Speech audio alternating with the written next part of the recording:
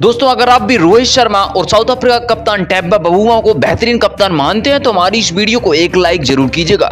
दोस्तों सेमीफाइनल में ऑस्ट्रेलिया से हारकर विश्व कप से बाहर होने के बाद रो पड़े हैं अफ्रीकाई कप्तान टैम्बा बबूमा। उसके बाद उन्होंने भारतीय कप्तान रोहित शर्मा, भारतीय टीम और भारतीय दर्शकों के बारे में जो कुछ कह दिया है, सुनकर हर एक भारतीय उनको सलाम करने को मजबूर हो जाएगा। साथ ही साथ उन्होंने अपने बड़े बयान में बहुत कुछ ऐसा कहा है जो कि सुनने लायक है। तो ऐसे आखिरकार टैम्बा बबूमा ने विश्व कप से बाहर होने के बाद अपना बड़ा बयान दिया है। और क्या कहा है? उनके पूरे बयान का वीडियो आपको दिखाने जा रहे हैं, मगर उससे पहले आपको क्या लगता है? विश्व कप 2023 के फाइनल में ऑस्ट्रेलिया और भारत दोनों में से कौन जीतेगी प्रतिक्रिया कमेंट में दीजिए। अगर नया है तो चैनल को सब्सक्राइब करना नहीं भूलिएगा। दोस्तों विश्व कप 2023 के अंतर्गत दूसरा सेमीफाइनल महामुकाबला ईडन गार्डन स्टेडियम कोलकाता में खेला गया। इस महामुकाबले में साउथ अफ्रीका और ऑस्ट्रेलिया जैसी दो बड़ी टीमों की भिड़ंत हुई। इस महामुकाबले की अगर थोड़ी सी ओवरव्यू की बात करें तो अफ्रीका कप्तान टेम्बा बबुआ ने पहले टॉस जीता और बल्लेबाजी करने का फैसला किया। चूँकि इस साल विश्व कप में शानदार प्रदर्शन कर रही। अफ्रीका से उम्मीदें बड़े स्कोर की थी, मगर इस महा मुकाबले में फ्लॉप साबित हुई, जहाँ पर क्विंटन डी कॉक तीन रन बनाकर आउट हो गए। कप्तान टेम्पा बबूमा खाता भी नहीं खोल सके।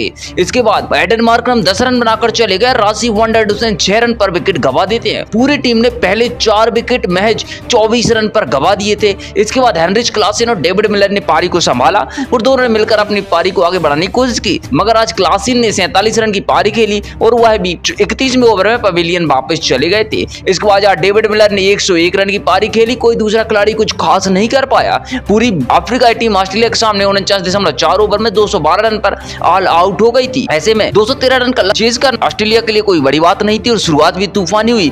शुरू में डेविड वार्नर ने अठारह गेंदों में उनतीस रन की तूफानी पारी खेल दी। हालाँकि वह एडन मार्करम का शिकार होकर चले गए। इसके बाद ट्रेविस हेड ने अड़तालीस गेंदों में तूफानी बासठ रन ठोक दिए। मिसेल मार्च तो बिना खाता खोले लौट गए, मगर स्टीवन स्मिथ ने तीस रन बना दिए। अंत में जोश इंग्लिश के अट्ठाईस रन, मानस लगुसा ने अठारह रन और अपनी टीम को वह जिता ले गए। तीन विकेट से ऑस्ट्रेलिया ने 215 रन बना लिए और आसानी से इस महामुकाबले को जीत लिया और विश्व कप के फाइनल में प्रवेश कर लिया। इस महामुकाबले में अफ्रीका टीम हारी है, विश्व कप से बाहर हो गई है। ऐसे में विश्व कप से बाहर होने के बाद उसके कप्तान टैम्पा बबूमा रो पड़े हैं और अपना बड़ा बयान दिया है। उन्होंने अपने बड़े बयान में कहा है कि मैं यकीन नहीं कर पा रहा हूँ कि जिस तरीके से विश्व कप में हमारी टीम ने शुरू से प्रदर्शन किया है, वह इस मुकाबले में ऐसा प्रदर्शन करेगी। कहीं ना कहीं हार का सबसे बड़ा जिम्मेदार मैं स्वयं को मान रहा हूँ। मैं मानता हूँ ऑस्ट्रेलिया टीम ने अच्छी कोशिश की, हमारी गेंदबाजी ने भी अच्छी कोशिश की थी, मगर इस पूरे विश्व कप के दौरान मैं स्वयं सबसे बड़ा जिम्मेदार रहा हूँ, जो की ओपनर उतरा। मगर किसी मुकाबले में अच्छा प्रदर्शन नहीं कर पाया और सबसे बड़ा कारण रहा कि हम मुकाबले हारे। ऐसे में विश्व कप में भले ही हमने पहले अच्छा प्रदर्शन किया था, इस मैच में हारना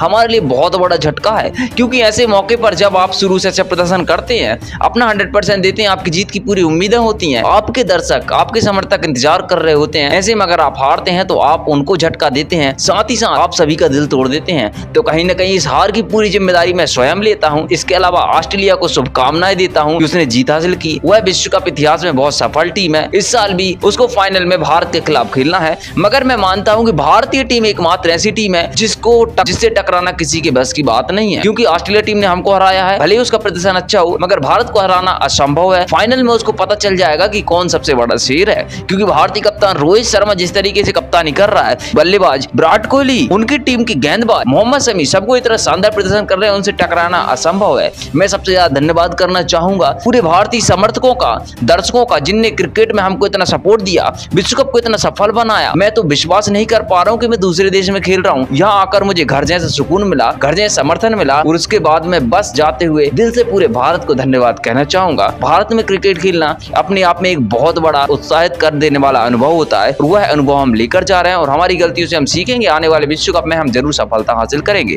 दोस्तों यह तो टेम्पा बबूमा का वह बयान है जो उन्होंने अपने हार के बाद दिया है। ऐसे आपको क्या लगता है कि भारत ऑस्ट्रेलिया को फाइनल में हरा पाएगी? प्रतिक्रिया कमेंट में दीजिए ना सब्सक्राइब कीजिए